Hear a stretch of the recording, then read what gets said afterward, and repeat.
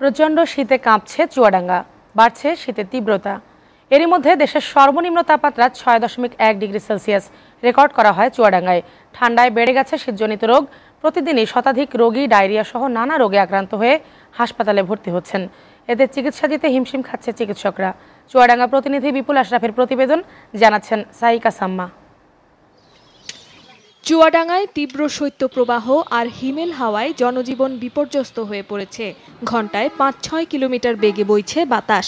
সেই সাথে ঘন কুয়াশায় দুর্ভোগের মাত্রা আরও এক ধাপ বেড়েছে। তাপমাত্রা অনেক নিচে নেমে আসায় অচল হয়ে পড়েছে জনজীবন। এ অবস্থায় খুব প্রয়োজন ছাড়া কেউই ঘর থেকে বের হচ্ছে না। প্রচণ্ড ঠান্ডার ফলে শীতজনিত রোগে আক্রান্ত হচ্ছে শিশু ও বৃদ্ধরা।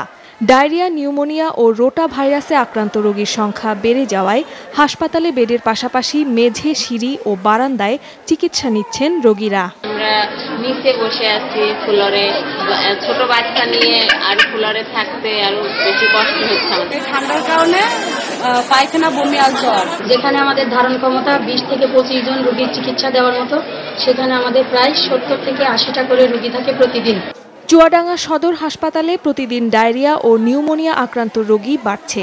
কিন্তু জনবল সংকটের কারণে রোগীদের চিকিৎসা সেবা ব্যাহত হচ্ছে বলে জানালেন এই চিকিৎসক।